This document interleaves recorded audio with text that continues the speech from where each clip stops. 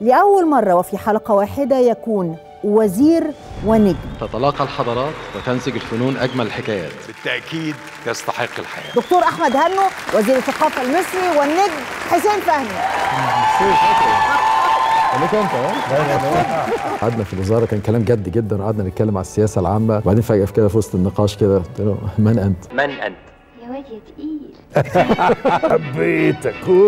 ولازم يطلع فوق معالي وزير الثقافة المصري فنان تشكيلي سلاش آه، آه، مخرج رسوم متحركة. معالي الوزير لا والله ده إحنا كنا بنقعد نحوش قبل ما الكتاب ده بشهر أو شهرين الخمسة جنيه دي تنفع تاخد كام كتاب؟ أي سؤال اساله افتح الانسيكلوبيديا. ده كان مبلغ خيالي طبعا. حسين فهمي كان بيقدر يشتريها. لا لا. فانا من حقي في هذا المهرجان إن أنا اتكلم على قضيتي مهرجان القاهرة. دي مسؤولية كبيرة جدا. تواجدي في الوزاره كأني منسق بالنسبة لهم. منسق بين المثقفين وبين وبين الحكومة المصرية. فلازم يبقى كل حاجة بالميزان. تصادمات وليه أكتر ما تقوليش كل ما تسعى للنشاط تبقى التعددية أفضل بكتير.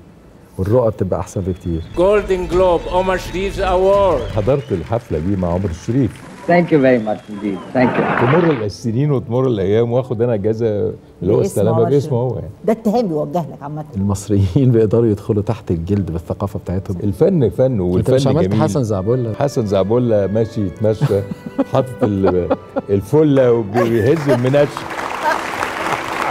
أعلنت إنه المنيا العام القادم هتكون المهرجان ما يبقاش مقصور بس على القاهرة. وزارة الثقافة هي بيتكم. ده مهرجان بيمثل مصر.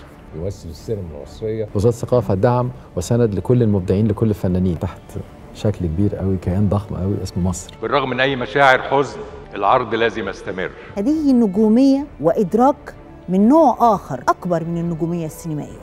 واجب علينا ومش غريب على مصر. دكتور أحمد هنو وزير الثقافة المصري والنجم حسين فهمي. معكم منى الشاذلي الخميس والجمعة. العاشرة مساء على أون.